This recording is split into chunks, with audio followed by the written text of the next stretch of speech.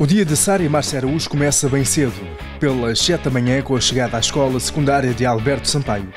Apanhadas de surpresa pela equipa de reportagem do comitê, as gêmeas pressentem desde o primeiro momento a nossa presença, apesar da almorose congénita de Leber lhes ter já retirado quase a totalidade da visão quando contam com 17 anos de idade.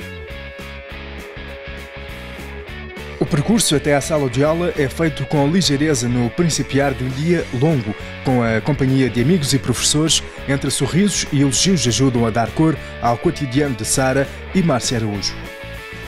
O dia é, é como nós eh, o fizemos hoje. Uh, vimos bem cedo para a escola, uh, deslocámos-nos sem qualquer dificuldade, sabendo que não há nenhum movimento na escola para o, para o bloco onde iremos ter aulas o curso chama-se Técnicas de Secretariado. Uh, eu, nós escolhemos esta área porque desde muito cedo em que nós uh, de comunicar com as pessoas. Nós agora vamos entrar para a aula de Psicologia e depois temos das, das 10h05 às 11h35 temos Psicologia, teremos um intervalo de 15 minutos e depois regressamos até à 1h20 para a aula de Economia. Uh, as gêmeas têm são muito bem dispostas uh, e estão muito bem com elas, uh, lidam muito bem com, com, com, a diferença que elas têm e ao nível da turma, a turma soube aceitar muito bem a diferença e, uh, e ajudam-se muito e, e, estão muito bem integradas. Nós podemos dizer que a integração é total e desde o início. Admiro-as muito porque para além da dificuldade de, de visão que elas têm, conseguem ultrapassar isso e quando, tem, quando precisam da nossa ajuda nós estamos sempre a ajudá-las. Uh, a coragem que elas têm em confiar em nós, acho que são muito corajosas e conseguem enfrentar o dia a dia com, com facilidade. Terminadas as aulas e saboreado o almoço na cantina da escola, a tarde de Sara e Márcia Araújo foge à rotina com a visita de estudo ao ACT da sua cidade de sempre, Braga. Os minutos vão passando e o momento alto do dia está próximo. As seis da tarde trazem consigo a chegada à pista do Estádio Municipal 1 de Maio, em mais uma página no trabalho diário por uma paixão que começou por acaso e que se tornou num sonho capaz de chegar aos Jogos Paralímpicos de Tóquio 2020. Foi no nosso quinto ano que surgiu as oportunidades de começar a correr. E nós corríamos na escola, nos cortamatos escolares. O primeiro dia que nós chegámos aqui foi, foi um dia muito emocionante para nós, porque nós não tínhamos a noção do que é que era uma pista. Quando eu experimentei pela primeira vez velocidade, fui para 50 metros e disse, Ei, não, parou.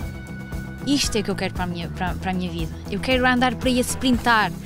E eh, as primeiras provas de 100 metros, aí foi a minha decisão total. Elas estão a treinar neste momento os 5 dias por semana, embora haja dois dias que são mais fortes em termos de trabalho de de resistência, de potência aeróbia e anaeróbia. Uh, há um dia que é um pouco mais brando, que é mais o relaxamento, e os outros dois dias são mais técnicos, que é a, a preocupação tem que ser, e, e, uma vez que elas correm com guias, sim, as perspectivas são, a Márcia já tem neste momento o mínimo, esse campeonato da Europa que é em Berlim, em agosto, uh, a Sara possivelmente também já teria feito a marca se não tivesse uma pequena lesão no pé, que está há duas semanas sem treinar, mas ainda temos muito tempo. Até hoje a prova que me marcou mais foi sensivelmente a minha primeira internacionalização no Mundial de Júniores na Suíça, em Notwil, onde estava estava tudo magnífico. Eu estava a vibrar com aquilo. Eu, eu estava a aquecer e sentia o país todo, todo na minha cabeça. Eu só ouvia tipo a minha cabeça só dizia Portugal, Portugal, Portugal. Temos a ambição de chegar ao Campeonato da Europa este ano em Berlim. Uh,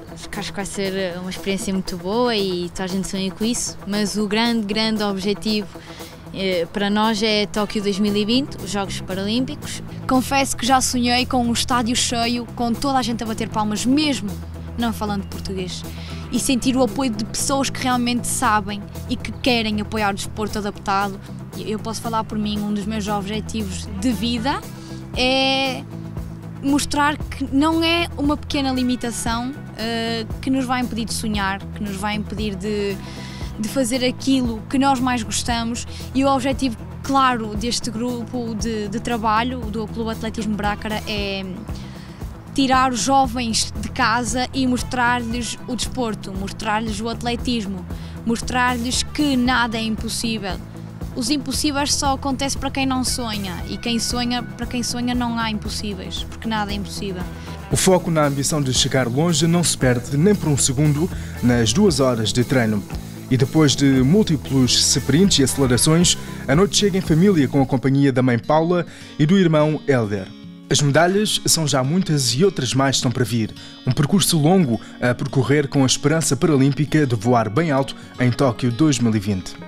Sara e Márcia estão determinadas em superar todos os obstáculos com a motivação de concluir com vitórias as etapas que surjam pelo caminho. O futuro será risonho e a mensagem transmitida é já de pura inspiração para milhares de jovens e adultos, muito para além dos limites da cidade de Braga. É único, porque eu sempre disse a toda a gente: se há pessoas que eu tenho orgulho, são elas. Porquê? Porque não é fácil o problema que elas têm, as dificuldades que elas passam todos os dias, porque elas, basicamente, elas não vê, elas não, elas dão um passo, elas não sabem onde estão a meter o pé. E isso para mim, tipo, vê-las viver, vê-las conseguir os maiores objetivos isso, para mim é fantástico. E acho que elas têm uma força de viver que é impressionante.